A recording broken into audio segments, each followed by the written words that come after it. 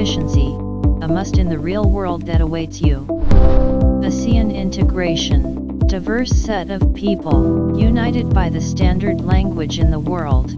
And so future professional, analyst consultant, manager, entrepreneur, instructor, public speaker, and achiever. How prepared are you? Have a say and say it well. Be a leader and lead them. Maximize your edge.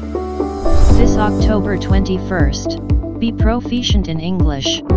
With Eloquence, English Proficiency Seminar and Workshop.